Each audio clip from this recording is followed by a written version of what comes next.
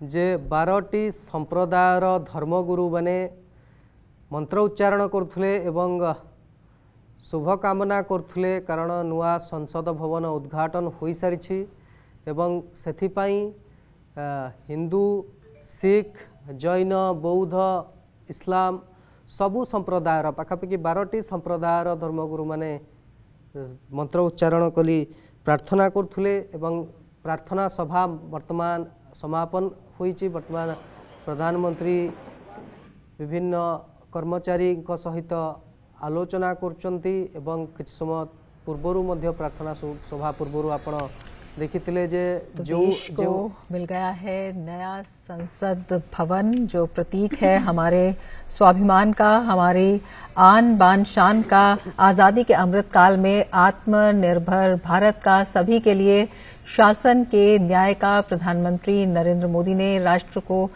समर्पित किया नया संसद भवन, लोकतंत्र का मंदिर, आकांक्षाओं का प्रतीक और आत्मनिर्भर भारत की एक बड़ी परिकल्पना जो ज़मीन पर उतरती दिखाई दी। आज प्रधानमंत्री ने इसमें सेंगोल को भी स्थापित किया, जो कि अपने आप में न्याय का कर्तव्य निष्ठा का प्रतीक है, जो बताता है सभी के लिए न्याय शासन सुनिश्चित करे।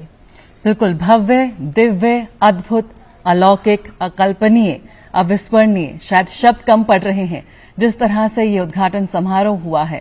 और बेहद कम सीमित समय में ये पूरा जो निर्माण कार्य संपन्न हुआ है, बहुत ही भावुक कर देने वाले ये पल हैं।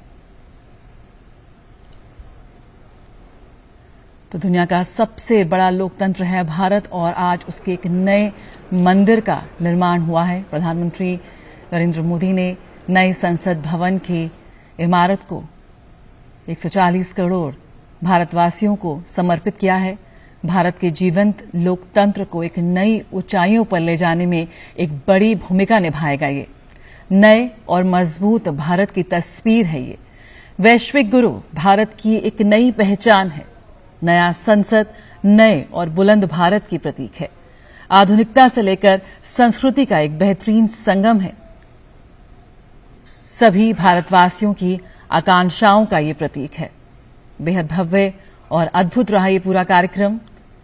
बेहद भावुक कर देने वाले ये क्षण है।